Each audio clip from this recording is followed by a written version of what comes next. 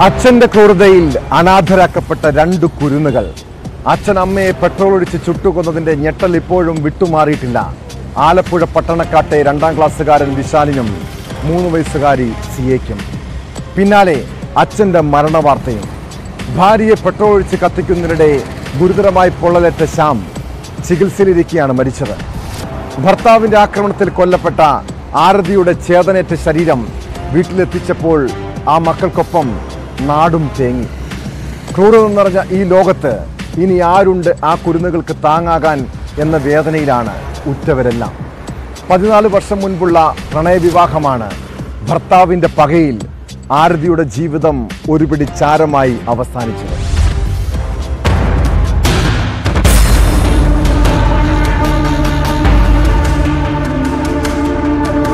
School വിദ്യാഭ്യാസ കാലം മുതൽ തുടങ്ങിയ പ്രണയം പതിനാല് വർഷം നീണ്ടുനിന്ന ദാമ്പത്യം.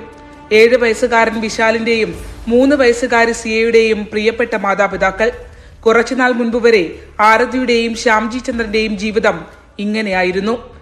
കുടുംബജീവിതത്തിൽ പ്രശ്നങ്ങൾ തലപൊക്കി തുടങ്ങിയിട്ട് അധിക വർഷങ്ങൾ ആയിട്ടില്ല. ശ്യാമിന്റെ സ്വഭാവത്തിലെ പെട്ടെന്നുള്ള മാറ്റം സ്വന്തം വീട്ടുകാരെ പോലും അത്ഭുതപ്പെടുത്തി.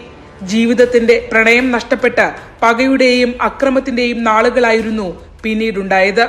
പലതവണ കുടുംബാംഗങ്ങൾ ഇടപെട്ട് പരിഹരിക്കാൻ ശ്രമിച്ചെങ്കിലും ശ്യാമിന്റെ അക്രമവാസന ഒന്നിനൊന്ന് കൂടി വന്നതേ ഉള്ളൂ.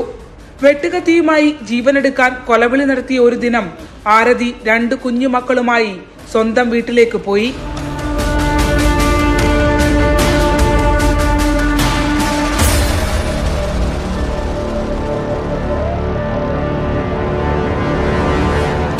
വീട്ടിലെത്തിയിട്ടും ഭീഷണി തുടർന്നുകൊണ്ടേയിരുന്നു. മനസ്സിന്റെ നിയന്ത്രണം നഷ്ടപ്പെട്ട് ശ്യാം വണ്ടാനം മെഡിക്കൽ കോളേജിലെ മാനസിക രോഗ വിഭാഗത്തിൽ വരെ എത്തി. ഇരുവരും തമ്മിലുള്ള ബന്ധം ഒരിക്കലും കൂട്ടിയോജിപ്പിക്കാനാകാത്ത വിധം അകലങ്ങളിലേക്ക് നീങ്ങി. ഇതിനിടയിൽ ഗാർഹിക പീഡന പരാതിയുമായി ആരതി കോടതിയെ സമീപിച്ചു. കടുത്ത പകയിൽ പെട്രോളുമായി ശ്യാം ആരതിയെ പിന്തുടർന്നത് ഒന്നിലേറെ തവണയാണ്. ഒരിക്കൽ ജീവൻ തിരികെ കിട്ടിയത് തലനാരിഴയ്ക്ക്.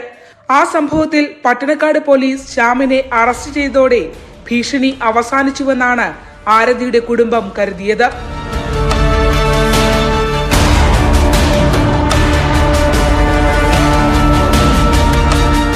ഒടുവിൽ കടുത്ത പക തീനാളമായി ഉയർന്നു പൊങ്ങി ആരതി എന്ന മുപ്പത്തൊന്നുകാരിയുടെ ജീവൻ എരിച്ചു കളഞ്ഞു. ആരതിയുടെ മരണം കരുതിക്കുട്ടിയുള്ള കൊലപാതകമാണെന്നാണ് പോലീസിന്റെ വിലയിരുത്തൽ. Saranya Snehajan news eighteen. Alappuzha